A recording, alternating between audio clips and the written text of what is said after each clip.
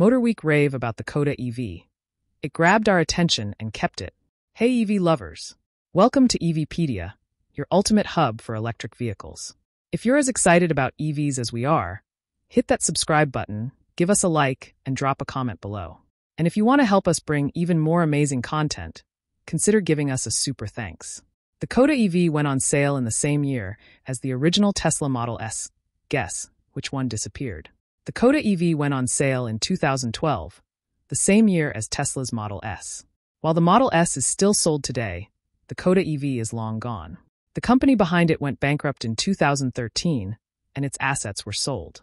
It's 2012, and the Tesla Model S is about to go into production at the Young Automaker's new factory in Fremont, California.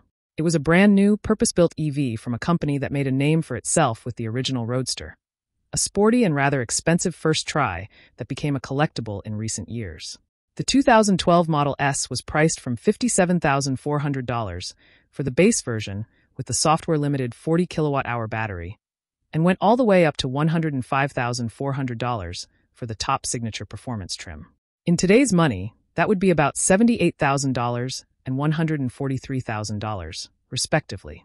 In other words, it was expensive. So, what could an environmentally conscious consumer, buy that could provide sufficient range and amenities at a lower price? Well, not much. There was the original Nissan Leaf, which had an EPA range rating of up to 109 miles, and the ill-fated Ford Focus Electric, with up to 115 miles of range. But what if you were looking for something more obscure?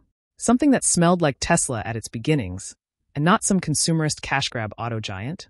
The 2012 Coda EV might just be the perfect choice, and I just happened to stumble upon MotorWeek's original review of the up-and-coming battery-powered American sedan on YouTube the other day. The Coda EV went into production in 2012 using a 31 kilowatt-hour lithium iron phosphate, LiFePO4, bolted to the underside of a Chinese-made rolling chassis that was also sold overseas as the Hafei Saibao, which itself was based on the late 1990s Mitsubishi Lancer. It had a front electric motor capable of putting down 134 horsepower and 221 pound-feet of torque enough for a 0 to 60 miles per hour sprint in 9.5 seconds. It could be topped up from a level 2 charger in around 6 hours, and it had a 10-year, 100,000-mile warranty for the battery. Coda said its four-door sedan was capable of covering up to 125 miles on a full charge, although the EPA had another opinion, with the official rating showing just 88 miles. That said, it was the most efficient EV of its time, but its hype was short-lived. Coda Automotive went bankrupt in 2013 with just 117 units delivered and about 150 more, either completed or gliders, were left unsold. MotorWeek said in its review that it looks like a garden variety car and that it's still something of a work in progress. Nevertheless, the review ended on a positive note. It grabbed our attention and kept it. As for pricing, the Coda EV started at $38,145 in 2012, which is roughly $52,000 in today's money.